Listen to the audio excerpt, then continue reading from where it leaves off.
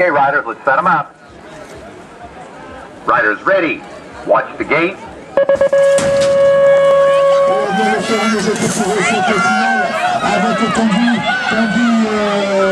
Citerne qui me paraît bien parti.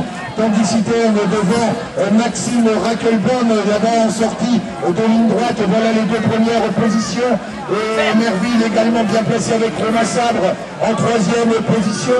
Alors qu'il est attaqué, Romain Sabre, il est attaqué par euh, Adrien Inman qui vient d'ailleurs de s'emparer euh, de la troisième position de cette finale. Alors il y a un superbe mano à mano entre et Tanguy Citerne. Comment va se dérouler la dernière ligne droite Pour l'instant, eh c'est Maxime Rackelbaum qui prend le meilleur. C'est lui qui a l'ascendant pour l'instant. Maxime Rackelbaum, Tanguy Citerne, Adrien.